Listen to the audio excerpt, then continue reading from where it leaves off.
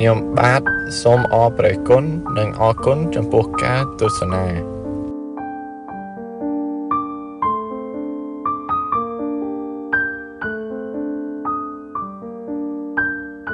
នៅក្នុងសបិននិមិត្តទី16គឺជាសបិននិមិត្តចុងបញ្ចប់ហើយរឿងរ៉ាវនៅក្នុងសបិននិមិត្តទី16នេះក៏អត់ទាន់ចប់ដែរនៅក្នុងនឹងមានសរុបសេចក្តីចុងក្រោយបន្តិចទៀតដែលព្រះសម្មាសម្ពុទ្ធព្រះអង្គ ត្រាស់តបជាមួយនឹងប្របាទប្រសេនតិកោសលដូច្នេះខ្ញុំកណាអាត្មាភាពនឹងបញ្ជាក់រឿងរ៉ាវសបិននិមិត្តទី16នេះបន្តិចសិននៅវីដេអូក្រោយនឹងបន្តនៅពាក្យបញ្ចប់ដែលព្រះសម្មាសម្ពុទ្ធព្រះអង្គត្រាស់ជាមួយនឹងព្រះបាទប្រសេនតិកោសលអញ្ចឹងនៅក្នុងសបិននិមិត្តទី16នេះព្រះបាទបសេនតិកោសលព្រះអង្គបានទូសួរព្រះសម្មាសម្ពុទ្ធថាបពិតព្រះអង្គដ៏ចម្រើន ក្នុងកាលមុនមុនសត្វខ្លាតែងតែ ខំស៊ីពពែតែខ្ញុំព្រះអង្គបានសបិននិមិត្តឃើញថាវងនៃពពែទាំងឡាយនាំគ្នាដេញខំនៃពពួកនៃសត្វខ្លាស៊ីទៅវិញវាខុសពីអ្វីដែលយើងធ្លាប់ឃើញធ្លាប់ដឹងកាលពីមុនមកបបិទ្ធព្រះអង្គដ៏ចម្រើនតើមានអ្វីទៅជាផលនៅក្នុងសបិននិមិត្តនេះអញ្ចឹងនៅក្នុងសបិននិមិត្តទី16នេះគឺនិយាយអំពីវងនៃសត្វខ្លាព្រោះសត្វខ្លា យើងដឹងហើយតាំងពីដើមរហូតមកដល់ឥឡូវនេះគឺពពែហើយខ្លាបើសិនជាខ្លាគឺត្រូវតែចាប់ស៊ីពពែជាទូទៅអញ្ចឹងណាតាំងពីដើមមកក្នុងឯកសារសត្វក៏យើងឃើញច្រើនជាងដែរតាមទូរទស្សន៍តាម YouTube តាមអីហ្នឹងយើងឃើញមើលទៅឃើញរឿងរ៉ាវអញ្ចឹងមែនប៉ុន្តែសបិននិមិត្តនេះផ្ទុយពពោព្រះបាទសេនទីកោសសួរថាចុះហេតុអីក៏ខ្ញុំព្រះអង្គសបិននិមិត្តឃើញថាពពែបែរទៅជាដេញវងខ្លាពួកវងពពែដេញវងខ្លាស៊ីជាអាហារទៅវិញ អញ្ចឹងបានព្រះសម្មាសម្ពុទ្ធត្រាស់ថាមហាបពិតរឿងរ៉ាវនេះក៏មិនមែនកើតមាននៅក្នុង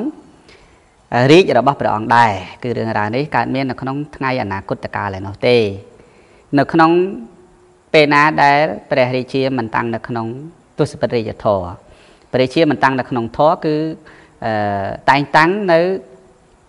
បុគ្គលដែលជាអ្នកមិនមានបុគ្គលិកលក្ខណៈសមរម្យមិនមានបទពិសោធន៍មិនមានចំណេះដឹង ជាបុគ្គលល្ងងអីចឹងទៅទៅកាន់ការងារផ្សេងផ្សេងជាពិសេសគឺដូចជាកាន់ក្តីហើយនឹងភិក្ខុសង្ឃដែលមិនចេះធម៌មិនចេះវិន័យ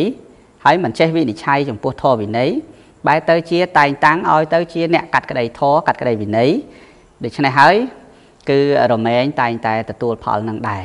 អញ្ចឹងសេចក្តីនេះចង់បញ្ជាក់រឿងរ៉ាវបែបនេះដែលប្របាទប្រសិទ្ធតិកោសលសួរព្រះអង្គលោកទ្រង់ត្រាស់អញ្ចឹង អញ្ចឹងបើយើងនិយាយអំពីសត្វពពែគឺសំដៅទៅលើមនុស្សដែលมันមានរិទ្ធมันមានអំណាចបានន័យថាអឺបើយើងប្រៀបធៀបទៅថាជាអ្នកដែលនៅក្នុងត្រកូលទៀបជាអ្នកដែលអឺมันមានឱកាសច្រើនទេប៉ុន្តែដល់ទៅពេលណាបុគ្គលដែលនៅត្រកូលថោកទៀបឬក៏បុគ្គលដែលមិនចេះដឹងនឹងឯងបានមកកាន់កិច្ចការងារធំដុំឬក៏បានមកធ្វើជាដូចជាអ្នកវិនិច្ឆ័យវិន័យ ពុទ្ធលោកសំដែងយ៉ាងដែរណាភិក្ខុសង្ឃដែលទ្រុះសិលសោះហើយតែងតាំងឲ្យទៅធ្វើជាអ្នកកាត់ក្តីវិន័យគឺបុគ្គលនោះឯងតែងតែមិនយកហេតុផលត្រឹមត្រូវយកមកកាត់ក្តីតែទេមិនយកធម៌វិន័យយកមកកាត់ក្តីទេអញ្ចឹងអញ្ចឹងលោកនិយាយសំដែងនេះគឺចង់លោកត្រង់សំដែងនេះគឺចង់និយាយពីខាងប្រសក់ផងខាងប្រសង់ផងប៉ុន្តែយើងនិយាយពីរឿងប្រសង់សិននៅក្នុងធម្មតាទេកាលណាយើងអត់យល់អីសោះ ធម៌វិន័យការវិនិច្ឆ័យបើសិនជាយើងអត់យល់អីសោះយើងទៅទៅវិនិច្ឆ័យរបៀបម៉េចហ្នឹងហើយយើងទៅវិនិច្ឆ័យរបៀបម៉េចយើងទៅវិនិច្ឆ័យទៅតាមទៅតាមអ្វីដែលជាការសោកប៉ាន់របស់អឺភិក្ខុសង្ឃខ្លះដែលខូចហ្នឹងឬក៏ភិក្ខុសង្ឃខ្លះដែលខុសវិន័យហ្នឹងហើយយើងទៅវិនិច្ឆ័យទៅតាមតាមអីដោយអំណាចភិក្ខុសង្ឃហ្នឹងមានទ្រព្យសម្បត្តិដោយអំណាចភិក្ខុសង្ឃហ្នឹងលោកមានសេះគុណច្រើនដោយអំណាចភិក្ខុសង្ឃហ្នឹងលោក ជាអ្នកដែលមានសក្តានុពលនៅក្នុងតំបន់ហ្នឹងដោយអំណាចភិក្ខុសង្ឃហ្នឹងលោកជាអ្នកចេះពហុសោតអីច្រើនប៉ុន្តែធ្វើខុសហើយនៅតែគិតថាត្រូវអាហ្នឹងអត់ទេអាហ្នឹងហើយកាលណាយើងវិនិច្ឆ័យខុសដូច្នេះវិនិច្ឆ័យរឿងរ៉ាវខុសដូច្នេះប្រកាសណាស់ថាអឺអ្នកដែលត្រឹមត្រូវអ្នកដែលគេឈរទៅលើគុណធម៌អ្នកដែលគេឈរទៅលើភាពសុក្រិតហើយអ្នកដែលគេត្រូវរឿងហ្នឹងផងបានន័យថាគេឈរទៅលើអំពើល្អហ្នឹងផងរមែងទទួលនៅភាពអយុត្តិធម៌ព្រោះ អ្នកកាត់ធម៌វិន័យនឹងឯងមិនតាំងនៅក្នុងធម៌វិន័យពិតប្រាកដឃើញទេមិនតាំងនៅក្នុងធម៌វិន័យពិតប្រាកដកាលណាមិនតាំងនៅក្នុងធម៌វិន័យពិតប្រកបហើយប្រកបណាស់ថាភាពអយុត្តិធម៌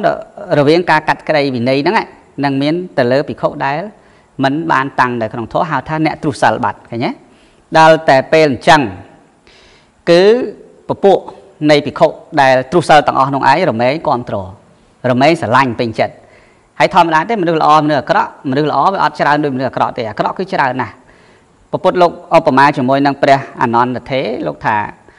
លោកចាប់ស្លឹកឈើមកបោះដៃរបស់លោកមកលោកថាមនិលអនន្តតើស្លឹកឈើនៅក្នុងព្រះតថាគតហើយនឹងស្លឹកឈើនៅនឹងលើផែនដីតើមួយណាច្រើនជាងព្រះអនន្តថាបពិតព្រះអង្គដ៏ចម្រើនស្លឹកឈើដែលនៅលើព្រះរបស់ព្រះអង្គគឺតិចតួចណាស់មិនស្មើនឹង ស្លឹកឈើដែលនៅនៅលើផែនដីទេព្រះអង្គនៅលើផែនដីគឺស្លឹកឈើច្រើនណាស់មនាលអនន្តបុគ្គលដែលជាអ្នកទៅកាន់ឋានសួគ៌បុគ្គលជាអ្នកមានសមាធិនិងយល់ត្រូវធ្វើដំណើរទៅកាន់សុគតិភពគឺបុគ្គលនោះមានតិចដូចស្លឹកឈើនៅលើផែនដៃរបស់តថាគតអញ្ចឹងចំណែកបុគ្គលដ៏ច្រើនជាមិឆាទិដ្ឋិយល់ខុសប្រះចាកហេតុផលច្រើនដោយស្លឹកឈើនៅលើផែនដីនឹងអញ្ចឹងអញ្ចឹងបានន័យថា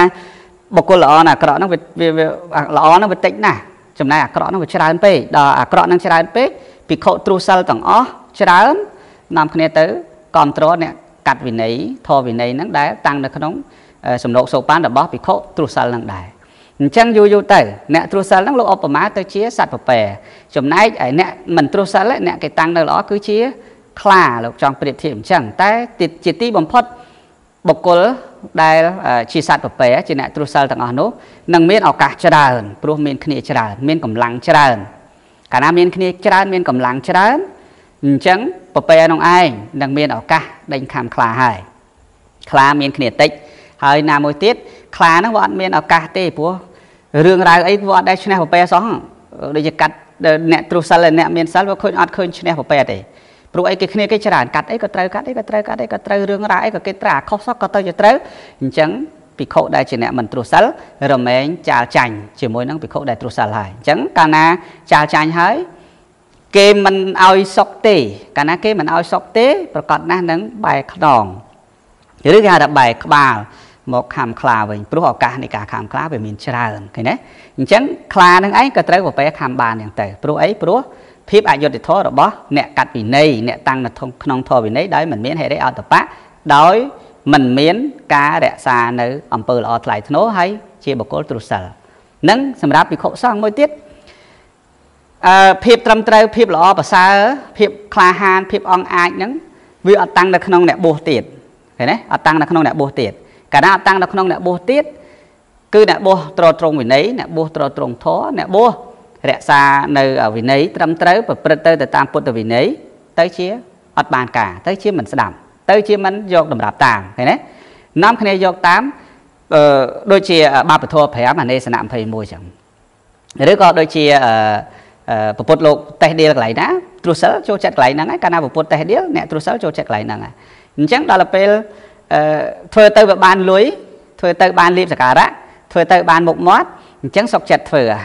តាំងពីអាគមអូមអាម តាំងពីស្អីស្អីណានៅច្រើនដែលជាសត្រូវជាមួយនឹងព្រះវិន័យដែលជាសត្រូវជាមួយនឹងបាបធរទាំង5និងអនេសនៈ21ភិក្ខុទ្រុសិលទាំងអស់នោះលោកធ្វើតែលោកធ្វើលោកគិតថាធ្វើទៅបានប្រយោជន៍ច្រើនហើយបានលៀបច្រើនហើយពុទ្ធបរិស័ទក៏នាំគ្នាទៅពឹងលោកណានាំគ្នាទៅពឹងលោករលោកឲ្យធ្វើរលោកឲ្យចារលោកឲ្យប្រសិទ្ធិរលោកអីជាដើមអញ្ចឹងទៅអញ្ចឹងទៅបងទាំងអស់នោះ គឺបានជាកម្លាំងនឹងអាចបកមកខំខ្លាវិញបានព្រោះខ្លាហ្នឹងវាមានអំណាចទៅតាមតែអ្វីដែល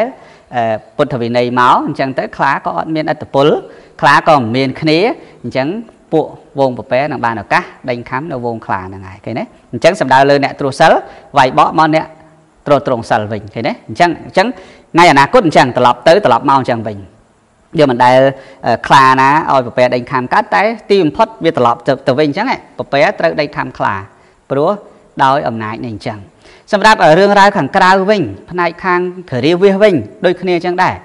ពេលខ្លះទៅអឺឱកាសនៃសក្តានុពលខ្លាំងរបស់ខ្លួនគេហៅថាបញ្ញាបត្តិខ្លាំងរបស់ខ្លួនហ្នឹងវាត្រូវចុះខ្សោយដោយ អ្នកដែលមិនមានចេះអីសោះបានន័យថាគេចូលធ្វើការក្រៅយើង គេគេចូលមកតាមបពួកអញ្ចឹងណាហើយគេឡើងធ្វើជាថកែប្រធានឬក៏មេនៅក្នុងតំបន់ហ្នឹងនៅក្នុងកន្លែងហ្នឹងហើយអត់ដែលចេះអីសោះកាន់ការងារអីក៏មិនដែលចេះអីសោះហើយធ្វើអីក៏មិនដែលចេះអីសោះប៉ុន្តែនៅលើកន្លែងអាជ្ញាហ្នឹងតែម្ដងអាចកាត់អាចវាអាចគូសអាចប្រាប់អាចចាអីគឺយើងមិនអាចតតាំងបានតែម្ដងអញ្ចឹងហើយកាលណាយើងមាន ចេះដឹងយ៉ាងណាក៏ដោយធម្មតាទេកាលណាអឺប្រពែនឹងឯងមានឱកាសមានសិទ្ធមានអំណាចហើយនឹងអាចដេញខំខ្លាវិញបាន គ្រប់កលៈទេសៈគ្រប់ពេលអញ្ចឹងរឿងរ៉ាវនេះយើងវិភាគទៅវារឿងរ៉ាវមួយច្រើនណាស់ដែលពិភពលោកនេះ ក៏បានជួបប្រទេសរួចហើយប្រទេសយើងប្រទេសគេក៏បានជួបប្រទេសរួចហើយមនុស្សនៅជុំវិញយើងក៏ធ្លាប់ជួបប្រទេសរួចហើយអញ្ចឹងហើយការព្យាកររបស់ព្រះសម្មាសម្ពុទ្ធជាមួយនឹងប្របាទប្រសេនតិកោសលនៅក្នុងមហាសបិនមិត្តទី16នេះគឺជារឿងដែលមាននៅក្នុងការអនាគតអញ្ចឹង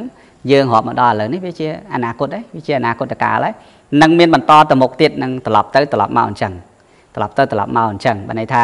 ត្រឡប់ខ្លាំងមកខ្សោយត្រឡប់ត្រឡប់ខ្សោយទៅខ្លាំងឃើញទេត្រឡប់ទៅត្រឡប់មកអញ្ចឹងហើយបានបុរាណលោកថាបង្គួយនឹងកើតទៅជាជាណា